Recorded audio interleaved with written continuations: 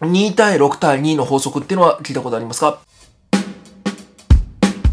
です。どうも、大丈夫です。えー、今日はですね、まあ、浪人についてお話をしたいかなと思います。で、まあ、結果が出なくてね、えー、浪人をすることを選んだ人、あるいは、あ浪人しようかどうか迷ってる人にちょっと見てもらいたいなと思って、えー、お話をしていきたいと思います。で、まず、え、ー、と、浪人をすることに対して、え、まあ、ネガティブなね、気持ちがあるかもしれないけど、おそこはそんなに心配しなくていいんじゃないかなというふうに思う。え、実際ね、こう、浪人してる人っていうのはどれぐらいいるかというと、まあ、もちろん大学にもよるんだけど、えっ、と、平均で20%ぐらいらしいね。えー、っていうことは、5人に1人ぐらいが、が浪人して、えー、大学生になっているという話です。でもちろん大学にもよって、いい大学に行けば行くほどね、えー、浪人する人多いですよ。例えば、東大だと3割ぐらい、えー、だったりするそうです。だから、別にそんな浪人がめちゃめちゃ珍しいわけでもないし、えー、浪人したからあ仲良くなれないとか、いじめられるとかってことは全くないってことなんだけど、でも、問題があります。まず1つ目。2対6対2の法則っていうのは聞いたことありますか？浪人して、よりいい大学に行ける人が2割。現役の時とほとんど変わらない人が6割。そして、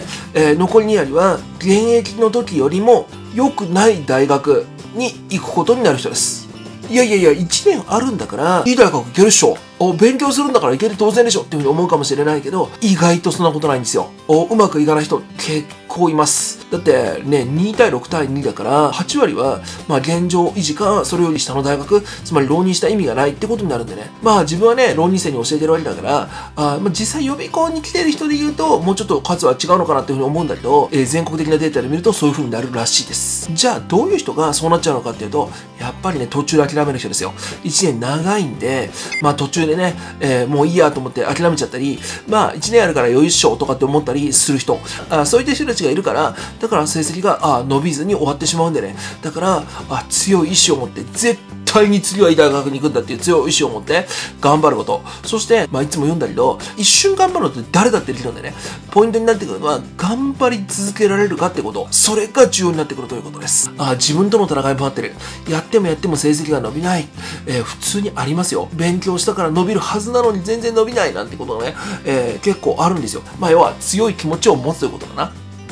1年は、終わってみると意外と短いです。夏ぐらいから一瞬です。1年あれば、去年やった科目だけやるのは余裕だから、新しく数学やってみようとか、あ新しくね、国立にしようと、私立の人が数学増やして、理科増やして国立にしようとかっていう人はいると思うんだけど、それ結構辛いですよ。本当に、マジで。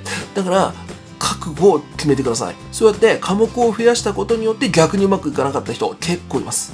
まあね、夏までだな。夏まで。夏までは科目を増やしてもいいと思う。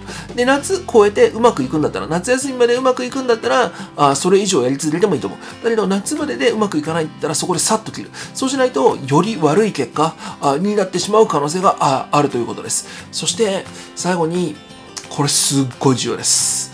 まあ、耳が痛いかもしれないけど、悔い改めてください。っていうのは、今、1年間やってダメだったでしょその勉強法はダメです。部活とかやってて、9月ぐらいから始めた遅かったんだっていう人は大丈夫かもしれない。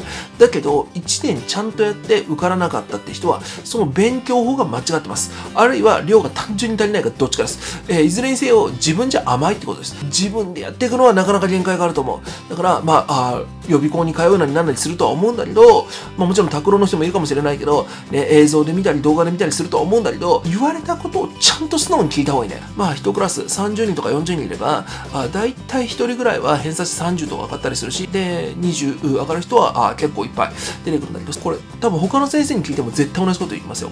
そういう子たちの特徴っていうのは、必ず素直です。素直。先生が言うことをとりあえず言われた通り受け取ってやってみる。素直にやってみる。もう授業中はめちゃくちゃ集中して、で、先生の言われたことをとりあえずやってみる。そんな感じの子がね、えー、すごく成績が伸びるんだけど、まあ、厳密に言うと、最初はやってみて、そこから自分で創意工夫するって感じかな。その話はね、また今度楽器が進む中で話をするとして、とりあえず素直な子があ伸びるんですよ。ダメだった今までの自分の勉強法を、まあ、一旦リセットして、そこから再スタートを切るんだっていう気持ちでやっていくこと。まあ、これがね、大事かなと思います。まあ、いずれにせよね、こう、本当に2対6対2だから、本当に諦める人出てくるから、本当にもったいないんだけど、本当に悔しいんだけど、でもそういう人出てくるから、そうならないように強い気持ちをね、今持ってる熱い気持ち、絶対に受かるんだって熱い気持ち今持ってるでしょ。で、その気持ちを絶対に忘れないようにしてほしいなというふうに思います。はい、ということで、今回は、浪人する人に向けてのコメントでした。はい、じゃあ終わり。バイバイ。チャンネル登録お願いします。